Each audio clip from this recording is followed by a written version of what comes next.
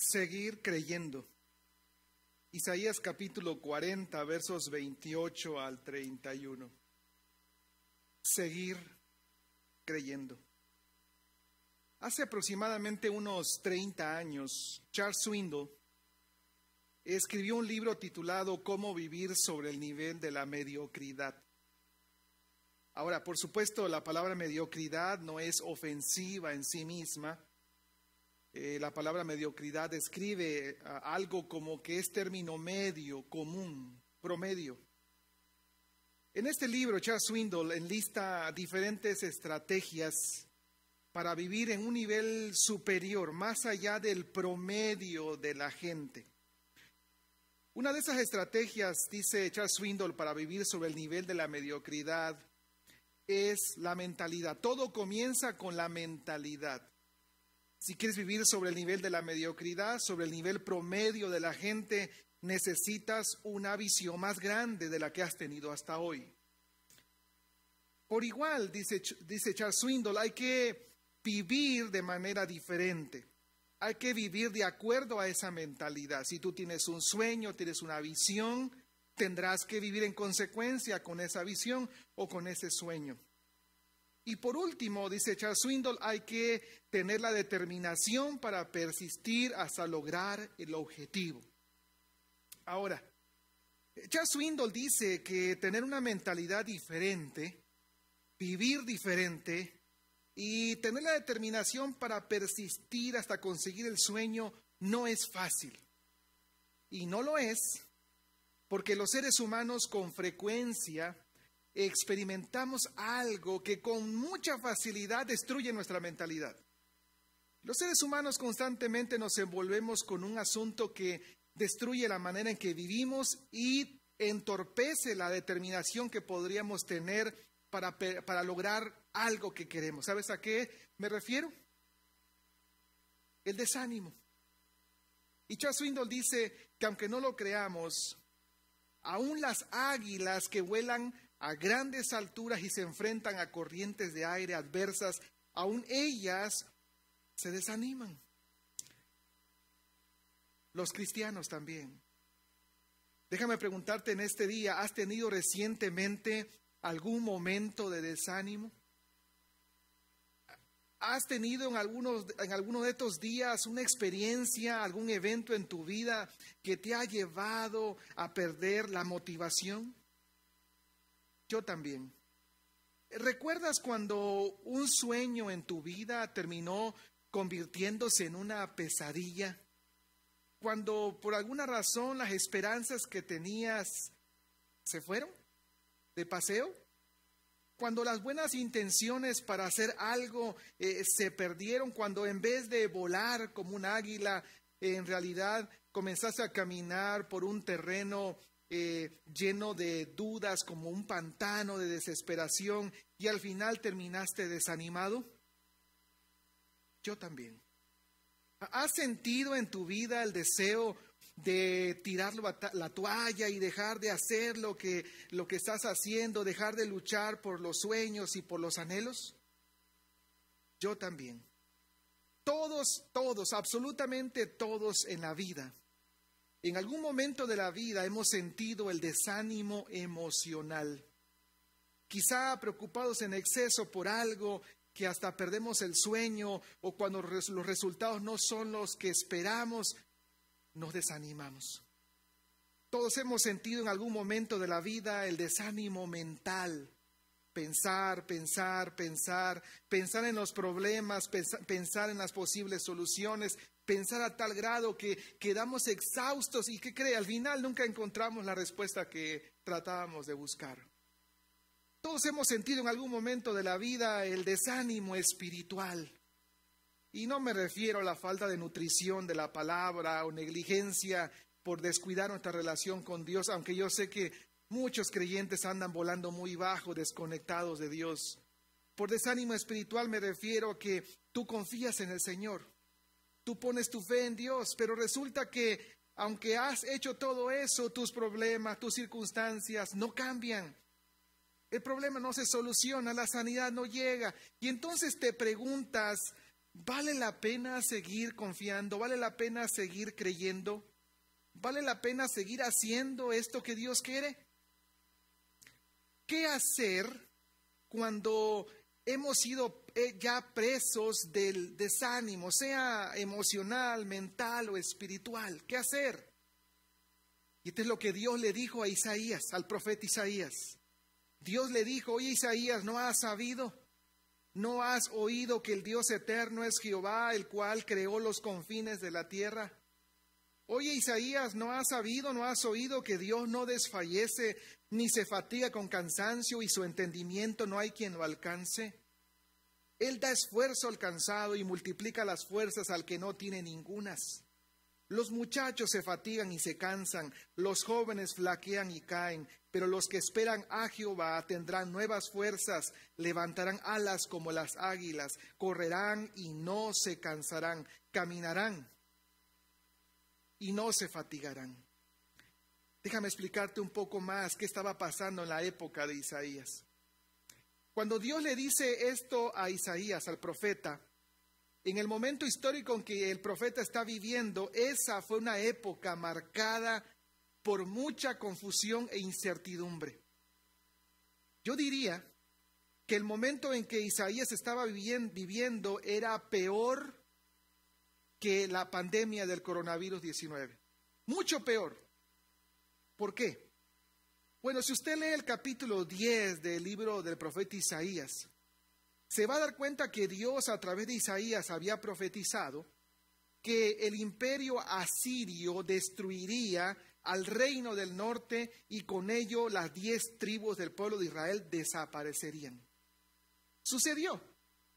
En el año 722 los asirios conquistaron a Samaria y con ello desapareció el reino del norte y las diez tribus de Israel. Las diez, las diez tribus del reino del norte de Israel. Ahora escuche esto. ¿Qué significaba ¿Qué, ¿qué, repercusión tenía que el reino del norte hubiera desaparecido? Es, es, bastante trágico. Es como si el coronavirus eliminara al 80% de la iglesia.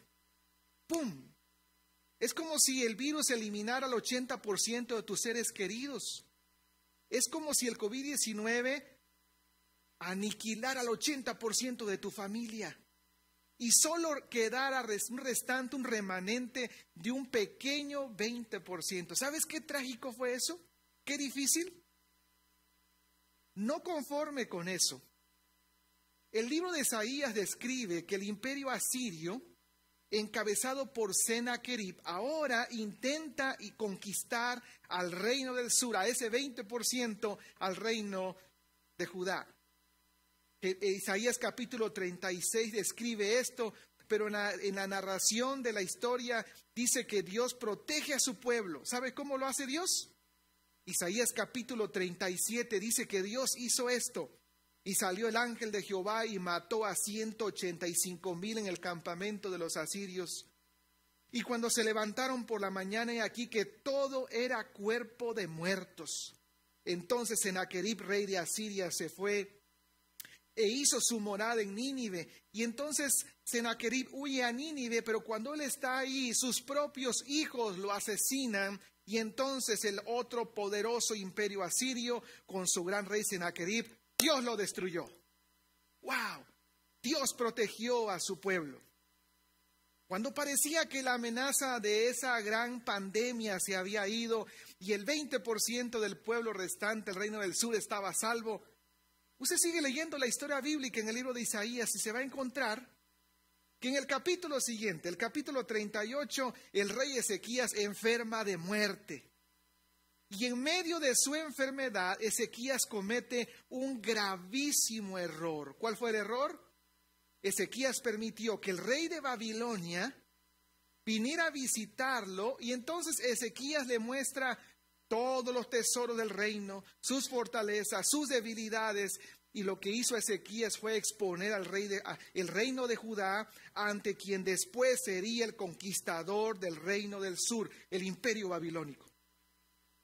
Y entonces ese capítulo eh, eh, nos narra cómo el profeta Isaías, bastante contrariado, meneando la cabeza, se acerca al rey Ezequías y le dice, Ezequías, ¿qué hiciste? ¿qué error cometiste?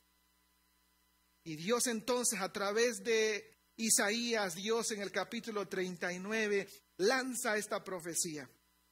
He aquí, vienen días en que será llevado a Babilonia todo lo que hay en tu casa. Sí, el 20% restante. Y lo que tus padres han atesorado hasta hoy, ninguna cosa quedará, dice Jehová. ¿Cómo se imagina usted que estaba el corazón de Isaías, del profeta Isaías? ¿Cómo se sentía Isaías? Recién estaban celebrando en el capítulo 37 la victoria sobre los asirios y ahora resulta que hay una pandemia peor que viene en camino y que probablemente va a eliminar al restante 20% del pueblo de Dios. ¿Qué hacer? Cuando las circunstancias de la vida eh, nos rodean de tal manera que parece que no hay salida, no hay escapatoria. Como dijo una hermana con toda sabiduría, ¿qué hacer cuando no solo nos llueve, sino que nos relampaguea? O como se dice coloquialmente, cuando no se siente lo duro, sino lo tupido, cuando no ves cuando hay una salida para la situación que estás viviendo, ¿qué hacer? Y este, y este fue el mensaje para Isaías. Este fue el mensaje para el reino del sur y este es el mensaje para usted y para mí. El mensaje es, sigue creyendo. Sigue creyendo. Aunque llueva o relampaguee, aunque sientas lo duro o lo tupido en las encrucijadas de la vida, en ese túnel que parece que no tiene salida, el mensaje es este, hay que seguir creyendo. Sigue creyendo, sigue creyendo, sigue creyendo en el carácter de Dios. Cuando parece que no hay salida, cuando parece que las circunstancias que nos rodean nos sobrepasan, hay que seguir creyendo en quién es Dios. Este fue el mensaje para Isaías. Oye Isaías, mira, parece que aquí algo trágico va a suceder. Pero Isaías, mira, recuerda, recuerda quién soy, Isaías. Hoy Isaías no ha sabido, no has oído que el Dios eterno es Jehová, el cual creó los confines de la tierra. Oye, Isaías, ¿no has oído? ¿No sabes que Dios no desfallece ni se fatiga con cansancio y su entendimiento no hay quien lo alcance? Oye, Isaías, ¿no sabes quién soy yo? Déjeme explicarte, la palabra saber, conocer, es la palabra yadá, pero no tiene que ver con saber información, sino conocer a través de la experiencia y eso implica tener una relación con la otra persona, una relación íntima. Ahora, la primera vez en el Antiguo Testamento que se utiliza este verbo yadá, saber conocer, es Génesis capítulo 4, verso 1. Conoció Adán a su mujer Eva, la cual concibió y dio a luz a Caín. Ahora, cuando Génesis 4.1 dice que Adán conoció a su mujer, no es que Adán saludó a Eva y le dijo, hola, hola Eva, ¿cómo estás? ¿Me das tu número telefónico? No, lo que está implicado es que tuvieron relaciones sexuales, una relación íntima.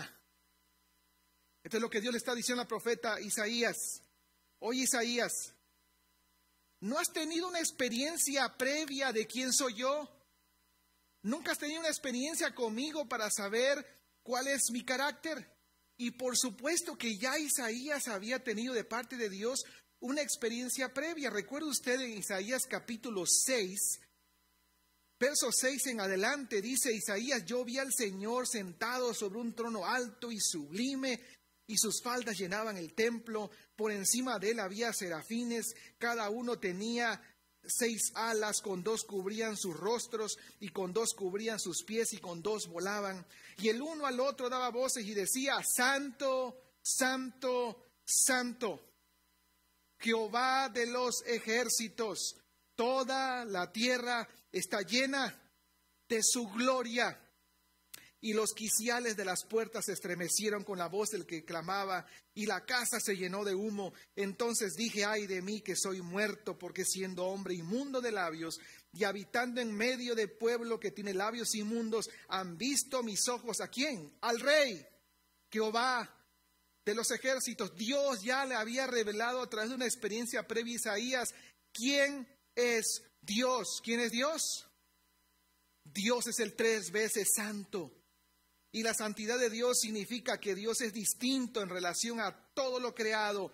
Dios es punto y aparte, porque Dios es el único que es perfecto en todo. ¿Quién es Dios? Dios es el Todopoderoso. Jehová de los ejércitos literalmente significa capitán de los ejércitos del cielo. Es decir, ya que Dios es el creador de todo, dueño del cielo y de la tierra, Dios tiene el mayor ejército del mundo, ángeles, arcángeles, estrellas, planetas, las leyes de la naturaleza, todo está a la disposición de Dios. Todos los recursos habidos y por haber pertenecen a Dios y trabajan para la gloria de Dios. Isaías, ¿no sabes por experiencia quién soy yo?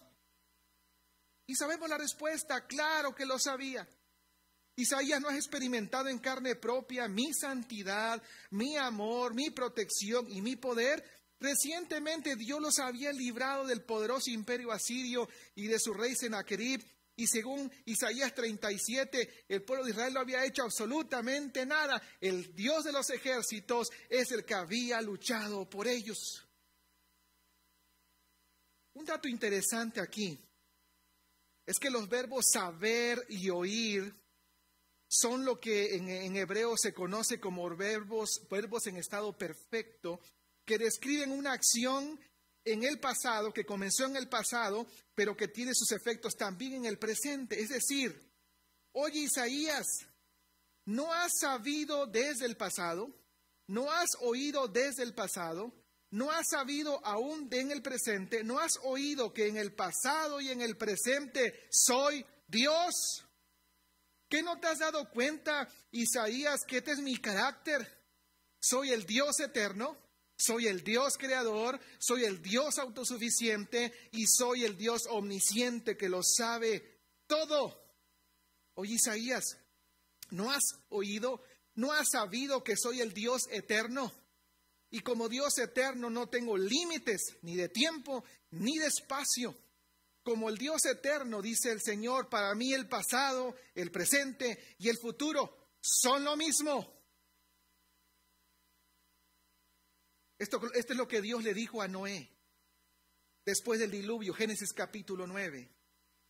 Y dijo Dios, esta es la señal del pacto que yo establezco entre mí y vosotros y todo ser viviente que está con vosotros por siglos perpetuos.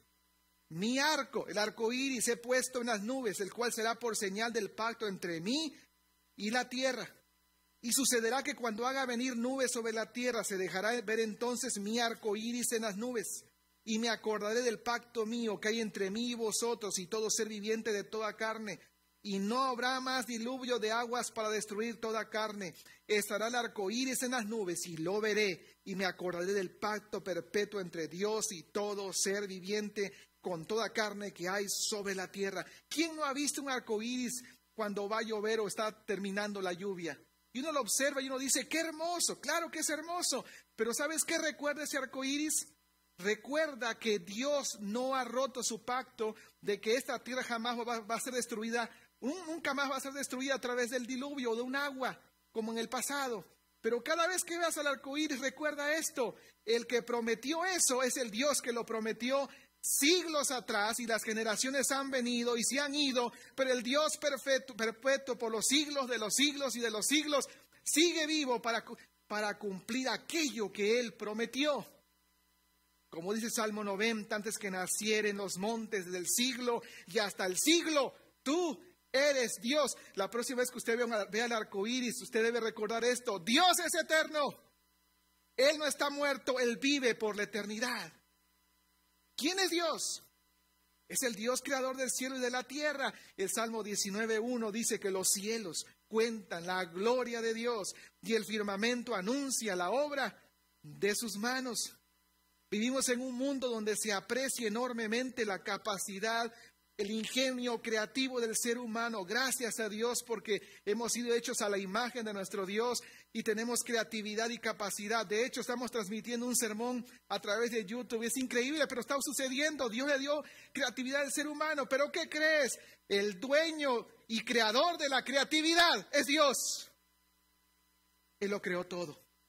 Y no solo eso, Él es el Dios autosuficiente y por lo tanto no desfallece, no se fatiga, no se cansa. ¿Quién puede pasar por alto lo que el Salmo 121 dice? No dará tu pie al resbaladero, ni se dormirá el que te guarda. No se adormecerá ni dormirá el que guarda a Israel, porque Él es tu sombra, tu mano derecha.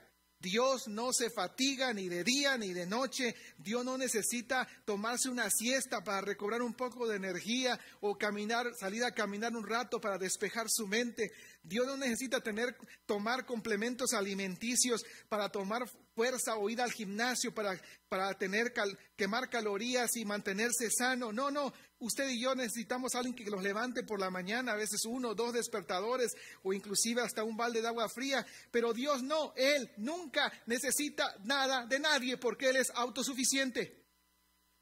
En un mundo, en una sociedad de gente que se siente autosuficiente, no olvides, Dios es el único autosuficiente.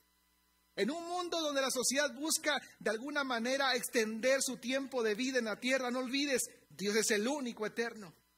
Dios es el único que tiene la capacidad creativa como Él. No hay dos. Y no solo ello. Dice el Señor que su entendimiento no hay quien lo alcance. El más inteligente del mundo es Dios. La nueva traducción viviente dice, nadie puede medir la profundidad de su entendimiento. No, Dios no está diciendo que usted y yo somos tontos o retrasados o mensos. No, Dios nos creó a su imagen con capacidades, con capacidades cognitivas, con capacidades de, de crear, de hacer cosas. Pero no importando quién sea usted y qué inteligencia tenga, la inteligencia humana no alcanza ni se puede comparar con Dios. A Dios no hay que medirle su coeficiente intelectual, porque Él inventó el cerebro y Él inventó la vida y Él creó todo. A esto es lo que se refiere Isaías cuando dijo, ¿quién midió las aguas con el hueco de su mano y los cielos con su palmo? Con tres dedos juntó el polvo de la tierra y pesó los montes con balance y con pesas los collados. ¿Quién enseñó al Espíritu de Jehová y le aconsejó enseñándole ¿A quién pidió consejo para ser avisado? ¿Quién le enseñó el camino del juicio o le enseñó ciencia o le mostró la senda de la prudencia? Dios no necesita tener consejeros, Dios no necesita un equipo de asesores, Dios no necesita mi opinión, Dios no necesita ayuda de nadie. Para Dios no hay ningún problema demasiado difícil. Su comprensión, su capacidad es inescrutable en un mundo de gente que se siente inteligente, en un mundo donde se declara que hay muchas cosas inteligentes, necesitamos recordar esto, el gran inteligente es Dios. Isaías, recuerda esto, en las encrucijadas de la vida, en ese túnel que parece no tener salida, sigue creyendo, sigue creyendo en el Dios perfecto, Sigue creyendo en el Dios poderoso, en el Dios eterno, en el Dios creador, en el Dios que nunca se cansa. Sigue creyendo en el que tiene la inteligencia para darte las respuestas que necesitas a tu problema. En el momento de la incertidumbre, del caos, de la impotencia, de no saber qué viene del futuro, el mensaje Isaías, el mensaje Judá, el mensaje para ti que me estás escuchando es este. Sigue creyendo en Dios, en su carácter, en quién es Él. Sigue creyendo, no solo en el carácter de Dios, sigue creyendo en la obra de Dios. Si Dios es lo que es, si Dios es el eterno, el todopoderoso, tres veces santo, el que solamente es perfecto, el más inteligente, el creador, el autosuficiente, entonces la obra de Dios como resultado tendrá un efecto poderoso y sobrenatural. Sigue creyendo Isaías, sigue creyendo en la obra de Dios. Este fue el mensaje de Dios para Isaías, para Judá y para usted y para mí. De Dios siempre espera lo mejor. Porque Dios es quien da esfuerzo alcanzado y multiplica las fuerzas al que no tiene ningunas. Escuche esto, por favor una característica del carácter de Dios una característica del accionar de Dios, una característica de la obra de Dios es esta. Lea la Biblia. Las fuerzas al que no tiene y va a encontrar ningún que en cada oportunidad que Dios se manifiesta, Dios siempre, escuche, cada vez que Dios interviene, cada vez que Dios hace algo, cada vez que Dios se manifiesta, Dios siempre lo hace de forma sobrenatural y poderosa. Piense por unos momentos en la creación. Dios en la creación hizo todo lo que existe por el poder de su palabra. Bastó solamente decirlo y fue hecho. Usted sigue leyendo y se va a encontrar que ese Dios sobrenatural con poder, diez plagas mandó sobre el imperio egipcio y sacó al pueblo de Israel a la libertad. Usted lee todo el Antiguo Testamento y va a observar cómo la obra de Dios siempre fue poderosa y sobrenatural. De manera poderosa y sobrenatural le dio un hijo a Abraham. De manera poderosa y sobrenatural les dio la tierra prometida. De manera poderosa y sobrenatural vino el Mesías a nacer en una virgen. Y de manera poderosa y sobrenatural, el Hijo de Dios, después de haber muerto en la cruz, del Calvario, estuvo en la tumba al tercer día, de manera poderosa y sobrenatural, el Padre lo liberó, lo resucitó. Dios cuando interviene en la Biblia, cuando hace algo a favor de sus hijos, siempre tiene esa característica. Es sobrenatural y es poderoso. Este es el mensaje de Dios para Isaías. Es el mensaje de Dios para Judá, es el mensaje de Dios para ti, para mí. Sigue creyendo que el Dios poderoso, sobrenatural, va a hacer algo a favor tuyo. Escuche la obra sobrenatural y poderosa. Él da esfuerzo al cansado y multiplica las fuerzas al que no tiene ningunas. Literalmente el texto hebreo dice así, Él está dando al débil poder. Y esto describe una acción que se está repitiendo en el presente una y otra vez. Es decir, la obra de Dios, la intervención de Dios, el trabajo de Dios no es una, no es una obra ocasional de vez en cuando en la vida, no. Es Dios trabajando a favor de sus hijos una y otra vez de manera sobrenatural y poderosa. ¿Sabe usted que la palabra cansado se puede traducir como débil? Y débil implica todo emocional, físico, espiritual. Describe a alguien que está fatigado, a punto de desfallecer, de tirar la toalla. Y entonces Dios dice, eh, no te voy a dejar allí tirado, cansado y debilucho, te voy a dar, te voy a esforzar. Y la palabra esforzar significa poder. Lo interesante es que esta palabra poder es la misma que se utiliza en jueces capítulo 16, cuando Dalila le dijo a Sansón, yo te ruego que me declares en qué consiste tu gran poder, tu gran fuerza. Ahora sabemos que la gran fuerza de Sansón no venía, no era, no la tenía porque comía muchos tamales o porque comía muchas espinacas o porque tomaba algún suplemento alimenticio, no. La fuerza de Sansón venía directamente de Dios porque él había consagrado, él había sido consagrado y se había consagrado como nazareo para servir a Dios. Y el voto incluía no cortarse el cabello.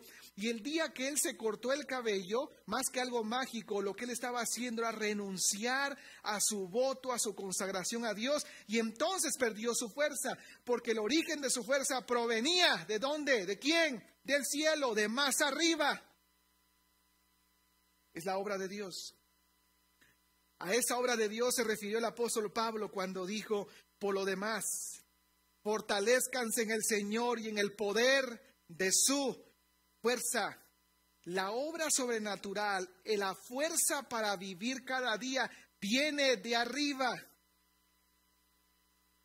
No solo viene de arriba, sino que Dios dice, yo la voy a multiplicar, no solo la voy a dar, no solo te la voy a proveer, sino que la voy a incrementar. Y esa palabra significa hacer grande, numeroso algo. Bueno, déjenme explicarle que la palabra multiplicar, La primera ocasión que se usa en la Biblia es Génesis capítulo 1, verso 22, cuando Dios le dijo a la creación, a los animales, a las aves, multiplíquense y llenen la tierra. Y claro, a partir de allí hay todo tipo de animales en todo el mundo, cientos, miles de especies. Y yo le invitaría que la próxima ocasión que usted vea un video de animales o vaya al zoológico o vea muchos animales, usted reconozca una cosa. Eso es posible por la obra poderosa de Dios. Es el Dios poderoso que multiplicó. Pero después Dios le dijo lo mismo al ser humano. Crea al varón y a la mujer a su imagen y les dice, multiplicaos, llenen la tierra, tengan muchos hijos. Bueno, a algunos se les pasó la mano, a los hispanos sobre todo. Muchos hijos. Le invito a lo siguiente, la próxima vez que vea una multitud, la próxima ocasión que vea una cantidad de gente por televisión, a través de un video, ¿sabe qué? Eso nos debe recordar una cosa. Dios tiene el poder para multiplicar. Y ahora resulta que en la humanidad no sabemos dónde poner a la gente. Habemos miles de millones de personas. ¿Sabe, ¿Sabe qué está describiendo? El poder sobrenatural de Dios. Dios es poderoso, no solamente para dar la fuerza, sino para hacerla grande, numerosa, incrementarla. Y es tan poderosa que dice Dios, los muchachos se fatigan y se cansan. Los jóvenes flaquean y caen. Pero los que esperan a Jehová tendrán nuevas fuerzas. Es extraordinaria esta expresión, nuevas fuerzas. ¿Sabe usted que literalmente la palabra nueva significa cambio, cambio de cantidad? Lo explico de esta forma. Las fuerzas vienen de Dios. Dios las multiplica. Y también Dios las cambia, la cantidad que necesitamos cada día. Mire, para entender esto mejor, ¿sabe usted que esa palabra nueva aparece en Génesis capítulo 31? Y, y es la misma palabra que se utiliza cuando todos conocemos la historia de aquel Jacob que había invertido años de su vida trabajando por Raquel y por Lea para casarse, ¿verdad? Y un día Jacob se enoja y Jacob les dice a estas dos, olvidemos ese trato con su papá, vénganse conmigo, vámonos de aquí. Porque ustedes saben que yo he trabajado por mucho tiempo, he invertido mis fuerzas sirviendo a su papá, pero su papá me ha engañado. Y me ha ido cambiando el salario, me ha ido cambiando la jugada. Me dijo que trabajara cierto tiempo por cierta cantidad y luego me la volvió a cambiar la jugada y me la volvió a cambiar. Cambio, cambio, cambio. Escuche, nuevas fuerzas significa cambio de fuerzas. De Dios viene la fuerza, Dios multiplica la fuerza y Dios nos cambia las fuerzas. ¿En qué sentido? Nuevas fuerzas significa cantidad de fuerzas de Dios para nuestra debilidad. Nuevas fuerzas significa que Dios nos da la necesaria energía para nuestro diario vivir. Energía para vivir un día a la vez. Y lo maravilloso de esto es, yo José necesito una cantidad de fuerza una cantidad de pilas, una cantidad de energía para vivir. Usted necesita otra. Y usted necesita otra. Y usted como mamá necesita otra. Y usted que trabaja de esto necesita otra cantidad. ¿Sabe qué hace Dios? A cada uno nos pone una pila, una batería, una cantidad, la necesaria para que usted sea papá, mamá y trabaje. La cantidad para que tú seas hijo y estudies. La cantidad para que juegues. La cantidad para que te diviertas. Dios pone en cada uno todos los días la cantidad necesaria de energía para vivir. Y el poder de Dios alcanza para todos y al mismo tiempo nos da justamente la energía que necesitamos para seguir viviendo. Oiga, eso es sobrenatural. Eso solo lo puede hacer Dios. Y entonces, ya que la fuerza viene de Dios, ya que Dios multiplica la fuerza, y me da la energía necesaria para vivir. Ahora sí, entonces estoy listo para levantar mis alas como águila. Tengo la fuerza de Dios, fuerzas multiplicadas, las fuerzas que necesito para vivir todos los días y entonces como el águila se levantan las alas y cuando un águila comienza a levantar sus alas es que está lista para emprender el vuelo y enfrentarse a la adversidad. Levantar las alas en ese sentido significa que estamos listos para enfrentar con la fuerza de parte de Dios todo lo que venga. Sí, lo que venga, porque yo soy débil, pero diario Dios me da la fuerza que necesito para vivir. Sí, yo me desanimo y con mucha facilidad, pero Dios cada día me da el aliento para seguir luchando. Yo me canso espiritualmente, pero Dios cada día me da la porción de fortaleza espiritual para decirme, yo estoy contigo. Y si Dios está conmigo, ¿quién contra mí? Levantamos las águilas con la fuerza de Dios, con fuerzas multiplicadas, con la batería energía que necesito cada día, porque soy vencedor por medio de aquel que me amó. Eso es sobrenatural. Eso solo lo puede hacer la obra de Dios. ¿Cuál es el resultado? Y entonces Dios le dice a Isaías, entonces van a correr y no se van a cansar, entonces van a caminar y no se van a fatigar. Claro, no significa de ninguna manera que jamás se van a acabar nuestras energías. Pero lo cierto es que si de Dios viene la fuerza, y Dios multiplica la fuerza y Dios nos da la energía necesaria para vivir cada día, de Dios tendremos la fuerza para hacer todo lo que tenemos que realizar todos los días de nuestra existencia. Describe la fuerza de Dios que todo el tiempo nos las da para seguir viviendo. Claro, físicamente a cierta edad, después de los 50, por ahí de los 60, y cuando usted se levanta por la mañana, todo, todo es crujiente, todo cruje, todo truena, ¿verdad? Pero no importando que todo le truene, no importando que todo le duela, Dios le va a dar la fuerza para seguir viviendo, fuerza mental, física, espiritual, emocional, suficiente para seguir caminando en medio del día y día cotidiano. Esto fue lo que dijo Nehemías en su oración. Ahora pues, oh Dios, fortalece tú mis manos. Y usted podría decir, Dios, fortalece mi cadera. Ay, casi no puedo caminar. Dios, fortalece mi espalda. Dios, mis rodillas. Dios, fortalece mi mente. Todo se me olvida. Fortalece mis dientes, se me van a caer. Dios, fortaléceme, me duele todo. Fortaléceme. ¿Qué cree que va a hacer Dios? Te va a dar la fuerza para vivir todos los días. Y ahí está el apóstol Pablo en la cárcel, anciano, una celda fría, y se atreve a decir, de Dios tengo todo, porque Él me fortalece. Él me da la fuerza que necesito para seguir viviendo aquí en mi soledad y en mi circunstancia. Oiga, eso es poder sobrenatural venga lo que venga, suceda lo que suceda, de Dios siempre espera lo mejor. La obra de Dios está a favor tuyo y mío.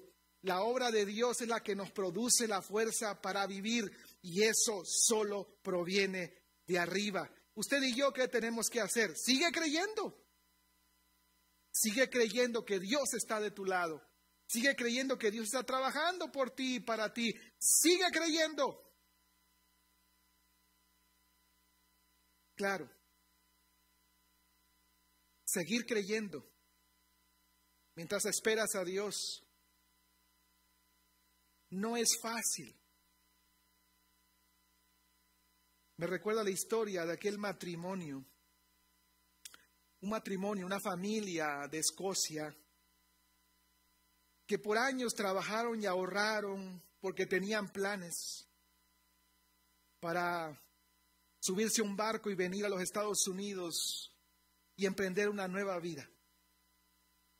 Por años, la familia, papá y mamá y sus nueve hijos trabajaron fuerte, ahorraron dinero y lo hicieron.